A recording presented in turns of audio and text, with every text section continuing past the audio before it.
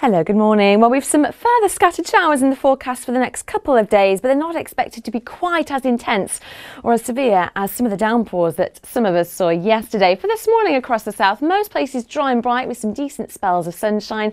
As we head through the day, though, we'll see thicker cloud building in with a scattering of sharp showers to watch out for. Some of these, again, could be heavy and thundery, but they should move through more quickly. Some sunny spells too between the showers, breezy with highs of 16 or 17 degrees, and some further showers around for for a time through this evening before they'll fade away as the night wears on. A coolish night ahead of us with temperatures down to around 5 or 6 degrees.